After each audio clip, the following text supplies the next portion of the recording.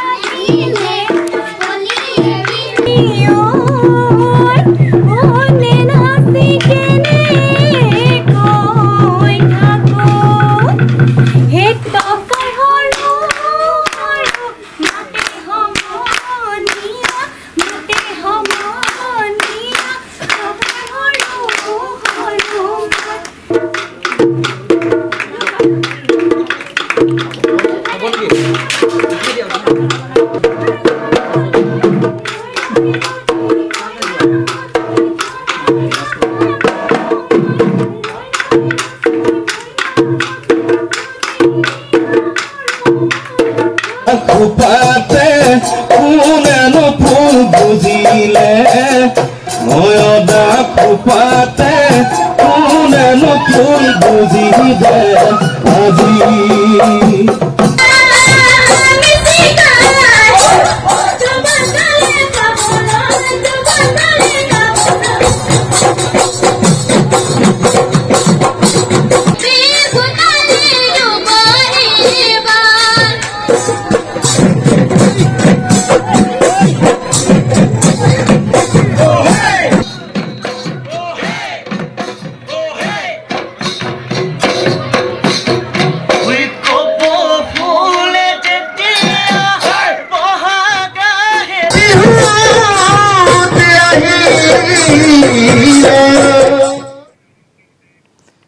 ইফালে টিয়কৰ ঢেকীয়াখোৱা আদৰ্শ গাঁৱত সাতাম পুৰুষীয়া পৰম্পৰা ৰক্ষা কৰি পুৱাই আয়োজন কৰিলে বোকা বিহু। সমন্বয় ভাতৃত্ববোধৰ ঢোলেৰে ডেকা গাভৰু জ্যেষ্ঠ কনিষ্ঠ জীয়ৰী বোৱাৰীসকলে ভাগ ল'লে এই বোকা বিহুত। বিশ্বাস অনুসৰি কুমাৰসকল যিহেতু বছৰৰ তিনিশ পঁয়ষষ্ঠি দিনেই বোকাৰ লগত সম্পৃক্ত হৈ থাকে সেই অনুসৰি বহাগৰ পহিলা দিনটোত তথা মানুহ বিহুৰ দিনা বোকা বিহু পালন কৰি আহিছে কুমাৰসকলে। ইয়াত টিয়কৰ দৃশ্য দেখুৱাইছোঁ। টিয়কৰ ঢেকীয়াখোৱা আদৰ্শ গাঁৱত সাতাম পুৰুষীয়া পৰম্পৰা ৰক্ষা কৰি পুৱাই আয়োজন কৰিলে বোকা বিহু। ইফালে ৰঙালী বিহুৰ প্ৰথম দিনাই জুবিনৰ গীতত বুৰ গ'ল মহানগৰবাসী। খাৰঘুলি বিহু সন্মিলনীত অনন্য ৰূপত দেখা গ'ল যুৱ প্ৰজন্মৰ হাৰ্টথ্ৰব জুবিন গাৰ্গক। পোন্ধৰটাকৈ গীত পৰিৱেশন কৰি দৰ্শকক মোহাচন্ন কৰে জুবিন গাৰ্গে। গীতৰ মাজে মাজে নিজৰ মনৰ কথাও ব্যক্ত কৰিলে শিল্পীগৰাকীয়ে। অহা বছৰৰ পৰা খাৰঘুলিত স্থায়ী ঠিকনা হ'ব যুৱ প্ৰজন্মৰ হাৰ্টথ্ৰব জুবিন গাৰ্গৰ। সকলো ফ্লেট বিক্ৰী কৰি খাৰঘুলিতে নিগাজিকৈ থাকিব জুবিনে। খাৰঘুলিত কাইট ফেষ্টিভেল পাতিব জনপ্ৰিয় শিল্পীগৰাকীয়ে। ইফালে অসমত নিয়ম ভঙা মানুহটো ময়েই সেয়ে মোৰ বদনাম বেছি বুলিও ক'লে জুবিন গাৰ্গে। আনহাতে খাৰঘুলি বিহু সন্মিলনত নিশা দহ বাজি পঞ্চাছ মিনিটত মঞ্চত গীত পৰিৱেশন কৰিবলৈ উঠা জুবিনে অনুষ্ঠান সামৰে নিশা বাৰ বাজি পঞ্চল্লিছ মিনিটত। পোন্ধৰটাকৈ গীত পৰিৱেশন কৰি গীতৰ মাজে মাজে দৰ্শকক আমোদ দিয়ে জুবিনে। জুবিনৰ গীতৰ মায়াজালত বন্দী হয় অনুৰাগী। এইবাৰৰ বিহুৰ প্ৰথমখন মঞ্চতেই জুবিনে দৰ্শকৰ মাজত ধৰা দিলে ব্যতিক্ৰমী ৰূপত। জুবিন গাৰ্গৰ লগত কণ্ঠদানত সহযোগ কৰে মেঘনা শতাব্দী আৰু ভানুপ্ৰিয়াই।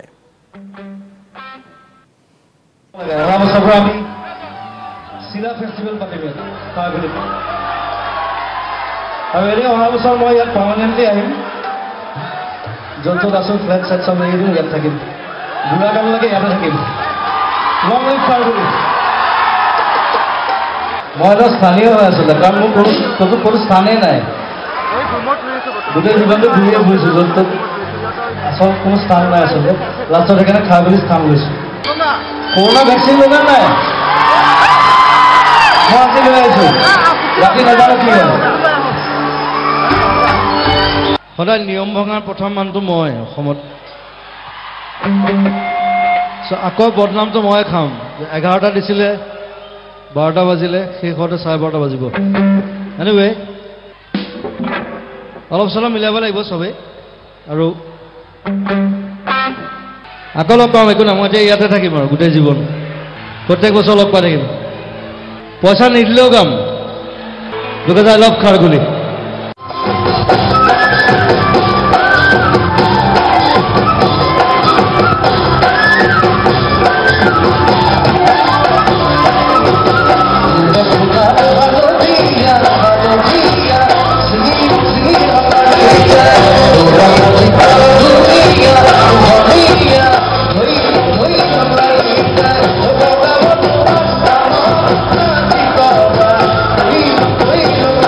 Thank you.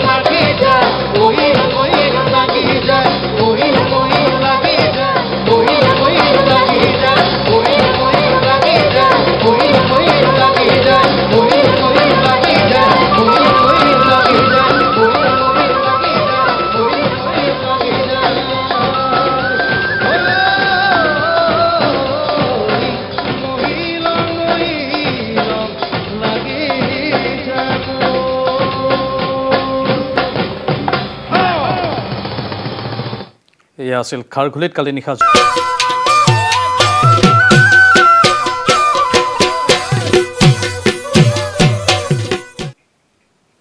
আজি পহিলা বহাগ অৰ্থাৎ মানুহ বিহু। ৰাজ্যৰ ইমূৰৰ পৰা সিমূৰলৈ দেখা গৈছে ৰঙালী বিহুৰ ব্যাপক উৎসাহ আৰু উদ্দীপনা। আপোনজনক বিহুৱান যাচি বিহুৰ শুভেচ্ছা জ্ঞাপন কৰিছে প্ৰতিজন অসমীয়াই জ্যেষ্ঠজনৰ ওচৰত সেৱা লৈ আশীৰ্বাদ লৈছে কনিষ্ঠজনে। পহিলা বহাগ উপলক্ষে ৰাজ্যৰ নামঘৰে নামঘৰে আয়োজন কৰা হৈছে নাম কীৰ্তনৰ ৰাজ্যৰ মঠ মন্দিৰসমূহতো পুৱাৰে পৰা পৰিলক্ষিত হৈছে ভক্তৰ ব্যাপক ভিৰ। ভগৱানৰ আশীষ লৈ অসমীয়া নতুন বছৰটো আৰম্ভ কৰিছে ৰাজ্যবাসীয়ে। দুপৰীয়া একেলগে বিহুৰ জলপান খাব অসমবাসীয়ে। পহিলা বহাগ উপলক্ষে ৰাজ্যৰ ভিন্ন ঠাইত আয়োজন কৰা হৈছে পৰম্পৰাগত খেল ধেমালি।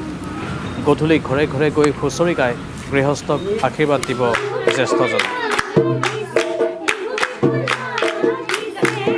যিহেতু ৰাজ্যৰ বিভিন্ন প্ৰান্তৰ পৰা আমি পোনপটীয়া সম্প্ৰচাৰসমূহ দেখুৱাই আছোঁ এইবাৰ গোৱালপাৰালৈ যাব বিচাৰিছোঁ সতীৰ্থ ৰিংকু দাস আছে লাইভত ৰিংকু ৰঙালী বিহুৰ আন্তৰিক ওলগ জনাইছোঁ আপোনাক। গোৱালপাৰাৰ পৰিৱেশ দেখুৱাওক আপুনি।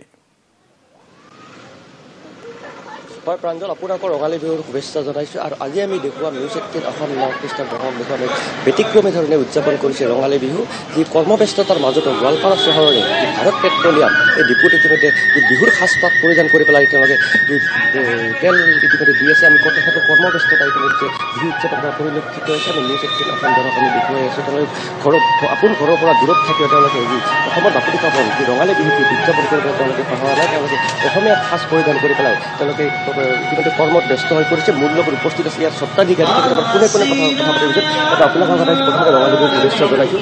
কি আপোনাৰ কথা কৈছে কৰ্মব্যস্ততাৰ মাজতে আপোনাৰ বিহু উদযাপন কৰিছে পোনপ্ৰথমে আপোনালোকৰ মাধ্যমেৰে অসম অসমবাসী ৰাইজক অসমীয়া নৱবৰ্ষ আৰু ৰঙালী বিহুৰ শুভেচ্ছা জ্ঞাপন কৰিলোঁ। আমি মানে কামটো বন্ধ কৰিব নোৱাৰোঁ। ল'ৰাবিলাক চব ইয়াৰে ল'ৰা। তো মানে কৰিব লগা হ'ল ছুটি নাপায় তেওঁলোক। গতিকে ছুটি নোপোৱাৰ কাৰণে এই কৰ্মৰ মাধ্যমেৰে বিহু পালন কৰা সেইটোৱে একচুৱেলি মেইনলি প্ৰয়াস। পদক্ষেপ বুলি ক'ব লাগিব ঘৰত যাব নোৱাৰিলেও কিন্তু মাজতো তেওঁলোকে বিহুৰ সাজপাৰ পৰিধান কৰি পেলাই তেওঁলোকে সুন্দৰভাৱে বিহু উদযাপন কৰিছে নতুন কৰ্মচাৰী আছে আপোনালোকে আজি বিহুৰ সাজ পৰিধান কৰি পেলাই আমাৰ? বহুত ভাল লাগছে। আমি চৈধ্য বছৰৰ পৰা কৰি আছোঁ আৰু ভৱিষ্যত কৰি থাকিম। আৰু আমি ইয়াতে ছুটি নাই আমাৰ ইয়াতে। আমি ইয়াতে ব্যস্ত হৈ থাকোঁ তেলমাৰাত। ধন্যবাদ। কৰ্মব্যস্ততাৰ মাজতে কিন্তু কৰ্মচাৰীসকলে সকলোখিনি পদক্ষেপ গ্ৰহণ কৰি তেওঁলোকে যিটো আপোন ঘৰৰ পৰা দূৰত থাকিও তেওঁলোকে গীত হেঁপাহৰ যি ৰঙালী বিহুটো তেওঁলোকে এনেদৰে যি এক ব্যতিক্ৰমী পৰিৱেশ গোৱালপাৰাৰ এই পেট্ৰল ডিপুটোত সকলো কৰ্মচাৰীয়ে অসমীয়া সাজপাৰ পৰিধান কৰি গ্ৰাহকক পেট্ৰল দিয়া দেখা গৈছে। ৰঙালী বিহুৰ দিনটোত তেওঁলোকৰ ছুটি নাই কিন্তু কৰ্মব্যস্ততাৰ মাজতো তেওঁলোকে পৰম্পৰা ধৰি ৰাখিছে। ৰিংকু অশেষ ধন্যবাদ জ্ঞাপন কৰিছোঁ। আমি পৰৱৰ্তী সময়ত পুনৰ আপোনাৰ কাষলৈ পোনপটীয়া সম্প্ৰচাৰত যাম। ৰাজ্যৰ আনন্দমুখৰ পৰিৱেশ আপোনালোকক দেখুৱাই আছোঁ। এয়াই হৈছে বহাগ বিহুৰ প্ৰকৃত আনন্দ। যিহেতু সকলো ৰঙীন হোৱাৰ সময় এয়া আনন্দত মতলীয়া হোৱাৰ সময়। আৰু বহাগ বুলি ক'লেই যিহেতু আনন্দৰ কথা সকলোৱে মনলৈ আহে সেয়েহে আনন্দ উৎসাহত সকলো মজগুল হৈ পৰা দেখা গৈছে। আজি পহিলা বহাগৰ এই শুভ ক্ষণত ৰাজ্যৰ ইমূৰৰ পৰা সিমূৰলৈ দেখা গৈছে ব্যাপক উৎসাহ আৰু উদ্দীপনা। আপোনজনক বিহুৱান যাচি। বিহুৰ শুভেচ্ছা জ্ঞাপন কৰিছে প্ৰতিজন অসমীয়াই।